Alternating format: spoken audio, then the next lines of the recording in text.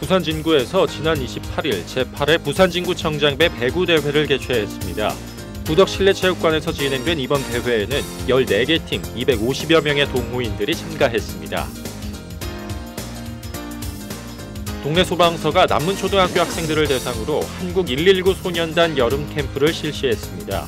이번 캠프에서는 안전에 대한 지식과 정보를 배울 수 있는 각종 체험 활동이 진행됐습니다. 부산정보산업진흥원이 제2회 게임 창작 캠프를 개최했습니다. 21개 팀 100여 명의 참가자들은 무박 3일간 숫자 1을 주제로 한 게임을 개발하며 열정을 쏟았습니다. 캠프에서 우수작품으로 선정된 게임은 오는 9월 개최되는 2016 부산 인디커넥트 페스티벌에서 특별 전시됩니다. 중구 산복도로에서 지역 주민 등 100여 명이 참석한 가운데 삼복도로 달빛 작은 음악회가 개최됐습니다.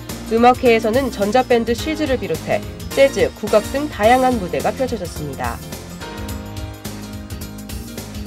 중구 대청동 주민자치위원회 회원 25명이 원도심 일대 삼복도로 경관과 도시재생 우수 사례 견학을 위해 만디버스 코스 투어를 실시했습니다.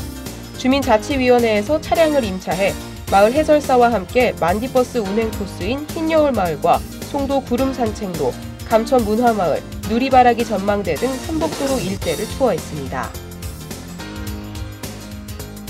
영도구 영선일동 지역사회보장협의체에서 위기가구와 복지 사각지대의 효과적인 발굴체계 구축을 위해 다복동 복지통장 문패를 제작해 부착했습니다. 다복동은 주민에게 더 가까이 다가서는 복지동을 의미하는 것으로 문패는 영선일동 복지통장 8명 가정에 부착됐습니다. CJ 헬로비전 부산 방송에서는 시청자들의 일상이 담긴 사진과 영상을 받고 있습니다. 많은 참여 바랍니다.